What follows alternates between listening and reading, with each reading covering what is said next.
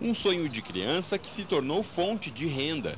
Joyce é a proprietária desta loja de bonecas de pano em São Paulo. Mas antes de abrir as portas, ela se preparou durante um ano. Eu fiz de atendimento ao cliente, fiz cursos de marketing, fiz o curso também de matemática financeira. O negócio anterior, mal sucedido que eu tive, eu não fiz pesquisa de mercado, eu não vi se o local era adequado.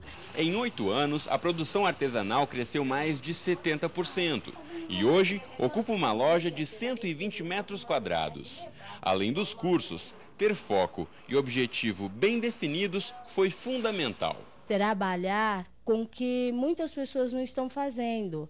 Esse é o grande segredo, mas é focar também. Tá? Você tem que ver se esse produto é importante para o mercado, senão você vai ter um negócio só para você. A loja de Joyce é um exemplo bem sucedido.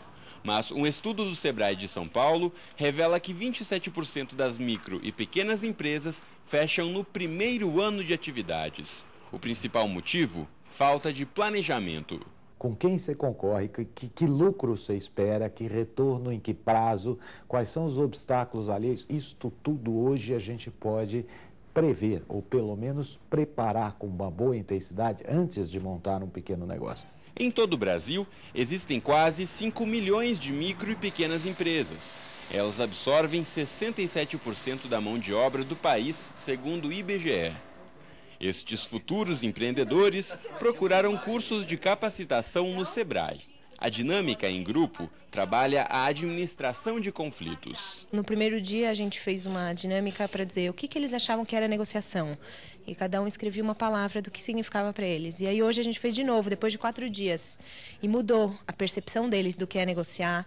A maioria saiu daqui com uma percepção de ganha-ganha, de que é possível sair fazendo negócio com lucro para todo mundo, que não preciso fazer alguém perder para que eu saia ganhando. Então esse é o nosso objetivo aqui nesse curso de negociação. Sônia abriu um escritório de design design há menos de um ano e quer aprender a negociar.